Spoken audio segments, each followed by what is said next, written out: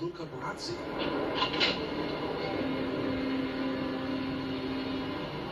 Casting call went out for bargain bin Charles Bronson, this guy knew he was a lock.